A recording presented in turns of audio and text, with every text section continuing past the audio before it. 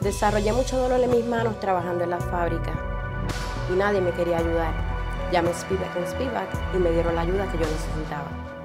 Si usted fue herido en el trabajo o por la negligencia de otro, llama a Spivak y Spivak hoy.